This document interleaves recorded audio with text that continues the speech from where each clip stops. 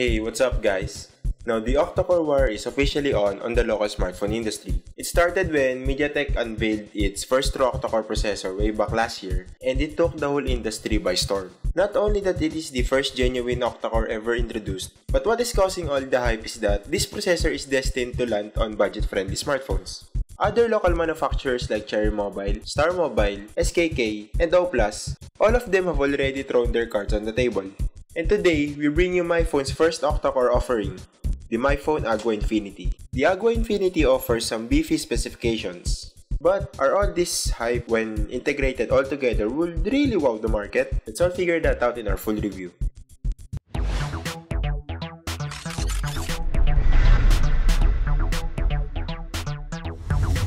A highly anticipated device really requires an excellent packaging to complement the device's value.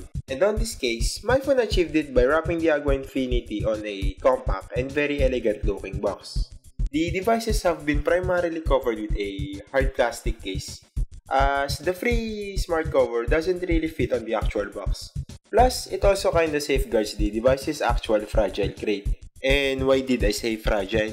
Well, basically because the device's main packaging is covered with a glass-like hard plastic, which quite resembles the packaging that most of the other high-end devices have. Now, opening the box will initially reveal the device itself with a free case installed right away. The box's divider is also made with the same quality as the front cover, which is worth noting as it gave me an extra feel that I'm really unboxing a high-end device.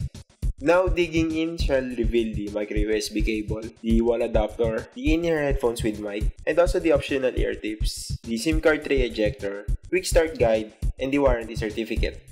It is also worth noting that both of the headphones and the micro USB cables are made with tangle-free wires. The MyPhone Agua Infinity can really be a looker for a locally branded device. The device's premium outer look really complements the internals. It has been elegantly sandwiched with glass and has a metal solid sides. At the front, we see the 5-inch Full HD IPS display that is covered with Corning Gorilla Glass 2.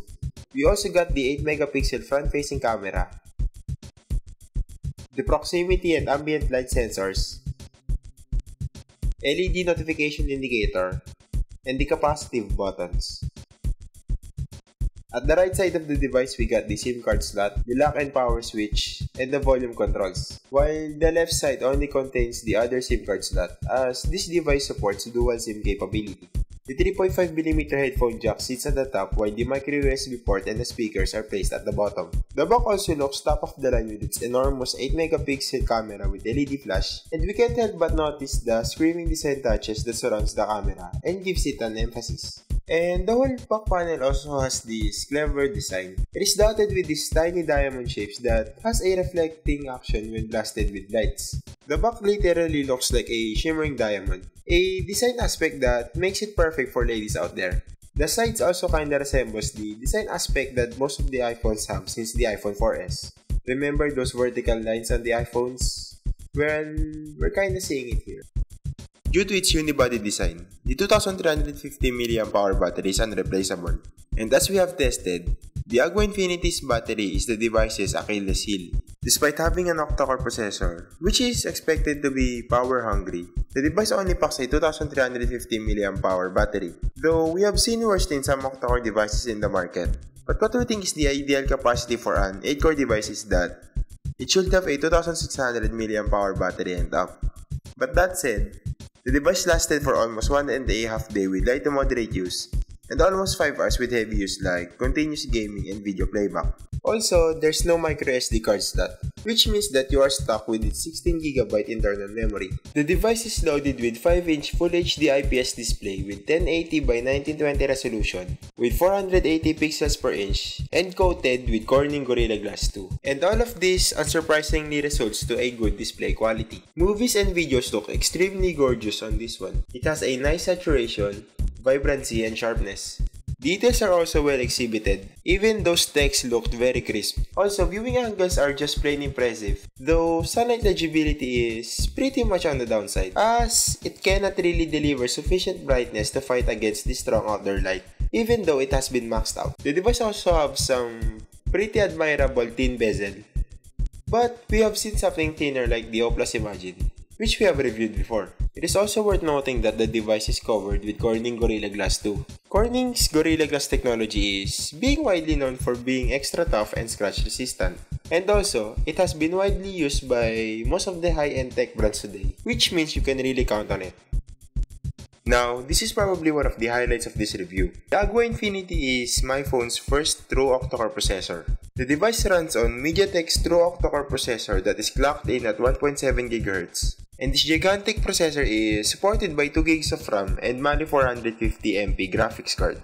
And just by reading this enormous spec sheet, you could definitely say that this device can really deliver a monster-like performance. The Agua Infinity garnered a score of 27,082 on Antutu benchmarks, which is something comparable to the Samsung Galaxy S4 and the HTC One M7. The MyPhone Agua Infinity handled well all the things we thrown at it, from heavy multitasking up to playing high-end games like the Asphalt 8 Airborne, the Grand Theft Auto San Andreas, and the Trigger 2. All of these power-hungry games run fluidly on this device. I have even maxed out the game's graphic settings, and it could still take it. Well, probably the only problem that we had on this one is that the device tends to heat up very fast. Well, this is probably because of the aluminum sides and the glass exterior. Well, this can be annoying at times but you can always let it cool down for a few minutes before playing again.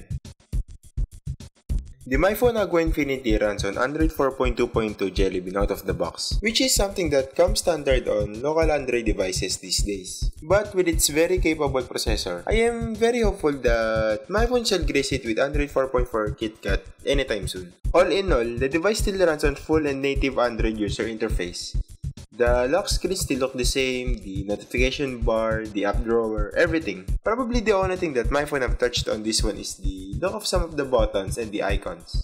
Agua Infinity also has a feature called Clever Motion, a feature that's starting to become common on MyPhone devices. Basically what it does is, it intelligently utilizes the device's proximity sensor, gyroscope and gravity sensors to take commands. But as what we have said before, we've seen it more like to be a novelty rather than, you know, being a useful tool at all. The MyPhone Agua Infinity is packed with 8 megapixel front-facing camera and a 16 megapixel primary camera. Well, that is evidently a sizable number of megapixel if you ask us as most of the high-end devices these days still doesn't fully embrace this type of camera module. That said, the photos that we have took look beautiful. It can take photos with outstanding color reproduction, enough exposure, and well-saturated photos. Autofocus also performs brilliantly on this one. Well, it can impressively make any subject stand out by really giving it a blurry background. And of course, we got the enormous 8 megapixel front-facing camera. Now, Agua Infinity is probably one of the most capable selfie snapper in the market today. It can also even perform better than any other device's main camera. It can produce well-detailed photos and selfies can be extra bright. That said, you can worry-free take selfies on any low-light scenarios like on a party or a midnight walk outside. But what we found that is really frustrating on this one is the lackluster camera app. It is kind of frustrating not to be able to control some of the essentials like the exposure value, white balance, and the focus mode. But that said, the device still offers a lot of nifty features like the Cinemagraph, 360 Panorama, Object Eraser, HDR, and many more. The Agua Infinity is a hybrid of being a beauty and a beast. A powerful octa-core monster trapped in an elegant, good-looking glass-on-glass body with Corning Gorilla Glass 2 and aluminum sides. Though, things wouldn't be easy for MyPhone as almost all of its competition started offering octa-core devices ahead of the Agua Infinity. And some of these competing devices actually offer better spec sheet on paper, but of course, at a more expensive asking price. It's also worth noting that the Infinity has the best design among the bunch, thanks to its Xperia-like design. That is why you should ask yourself before considering an octa-core device. The extra novelties are worthy enough for the extra cost that they are asking?